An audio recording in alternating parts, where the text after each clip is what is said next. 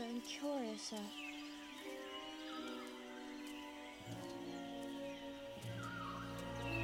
I told you she's the right Alice.